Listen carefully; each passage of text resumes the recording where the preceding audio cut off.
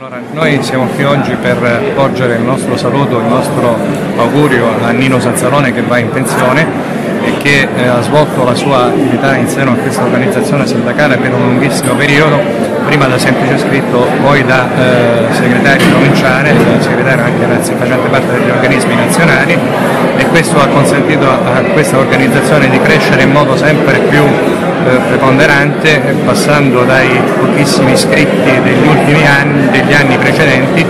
a, diciamo, a delle quote elevatissime di questi anni, in quanto eh, la CISL è oggi, per merito di Nino, la prima organizzazione provinciale, eh, sindacale provinciale nell'ambito del comparto scuola. Eh, questa crescita l'abbiamo vista non soltanto a livello di iscritti ma anche a livello di eh, rappresentanti di sindacali in seno alle scuole, le cosiddette RSU,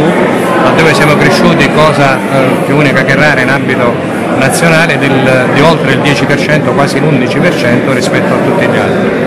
Certo per noi è una giornata felice da un lato perché auguriamo a Nino ogni bene che, che vada in pensione, ma dall'altro eh, ci dà un senso così quasi di vuoto che però vuoto non sarà perché continuerà a far parte in altri organismi della nostra organizzazione e quindi consentirà a noi e a lui di crescere così come siamo cresciuti in questi anni.